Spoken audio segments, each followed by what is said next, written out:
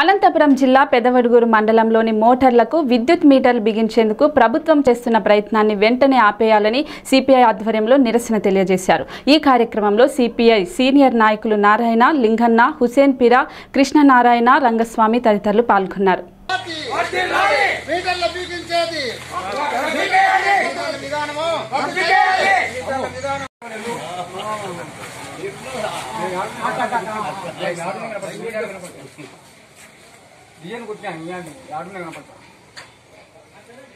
కానీ రైతాంగానికి గత ప్రభుత్వము ఉచిత విద్యుత్ పేరుతో మోటార్లకు ఉచితంగా కరెంటు ఇవ్వడం జరుగుతూ ఉంది.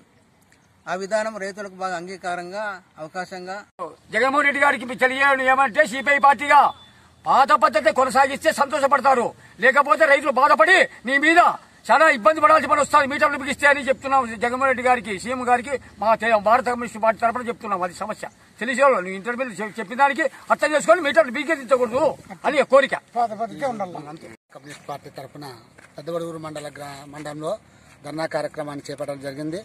ఈ ఉద్దేశం ఏమంటే గత ప్రభుత్వము రైతులకు అండగా ఉండి రాజశేఖర రెడ్డి గారు అతను ఉచిత కరెంట్ ఇచ్చాడు. కానీ ఇప్పుడు మన జగన్మోహన్ రెడ్డి గారు ఈ విధంగా ఇబ్బందులు కలిగితే ఇప్పుడే ఉన్నటువంటి ఇబ్బందుల్లో ఈ యొక్క కరోనా వల్ల చాలా ఇబ్బందులు పడుతున్నారు వానల వల్ల నష్టాలు పోతున్నారు. మీటర్లు బిగించి మరీ డబ్బులు కట్టాలా అని చెప్పని ఇది ఒక ఒత్తిడి పెడితే కనుక రైతులకు ఇబ్బంది